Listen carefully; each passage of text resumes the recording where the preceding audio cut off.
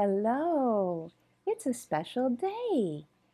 Guess what tomorrow is? Tomorrow is Thanksgiving, so I thought it would be nice if we had a special Thanksgiving story. So today's story is going to be Bear Says Thanks.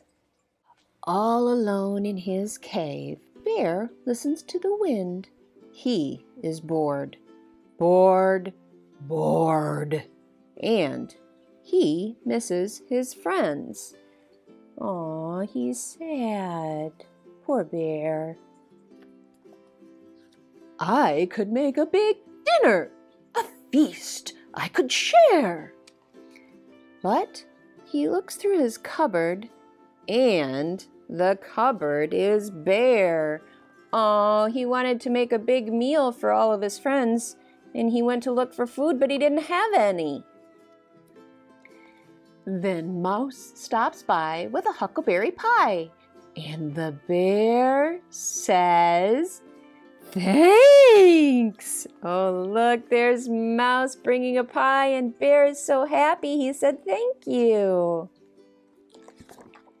Bear says, Goodness me, a delectable pie! But I've made nothing, he adds with a sigh. He was so happy that his friend brought him a pie, but he felt bad because he didn't make anything for his friend. Then they hear, Hi ho! And they both see Hare with a big batch of muffins at the door of the lair.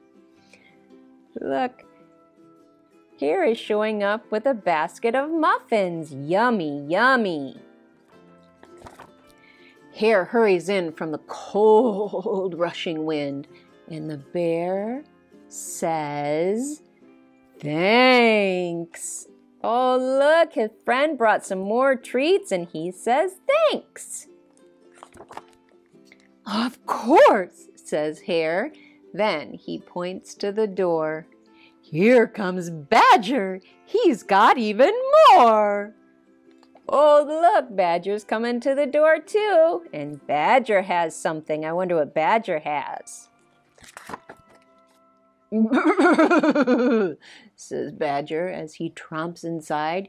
He gets down his pole and he smiles real wide. I'm back from a stroll at the old fishing hole.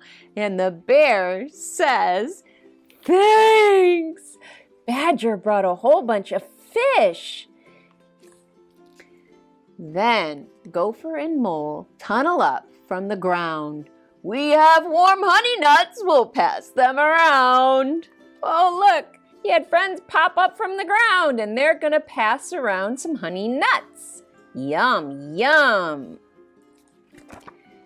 There's a flap and a flitter and a flurry in the den when in flutters Owl with Raven and Wren. Whoa, look, more friends are showing up.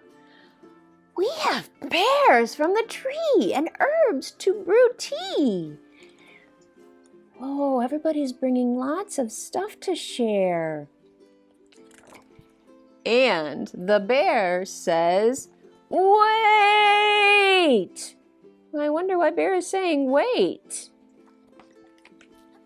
Bear mutters, and he stutters, and he wears a big frown.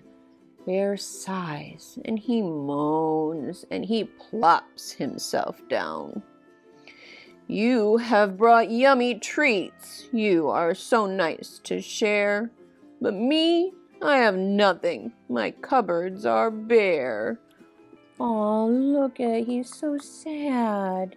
Everybody brought stuff, but he didn't have anything to share. Mouse squeaks.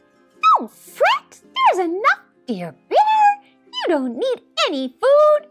You have stories to share. His friends hug him tight. It will be all right. And the bear says, Thanks. Oh, so even though he didn't have food to share, they said he had stories he could share. They lay out their feast on a quilt on the ground, And the bear takes a seat while his friends gather round. So they're all going to sit on a blanket and they're going to all share their food. I wonder what Bear's going to do. In a cave in the woods, in a warm, bright lair, the friends feel grateful for their good friend Bear. They pass around platters, they tweet and they chatter. Oh, they're all talking and having a good time. They're so thankful for their friend Bear. And they all say, Thanks. They're so thankful for each other. The end. And I am very thankful for you. Happy Thanksgiving. I love you. Mwah.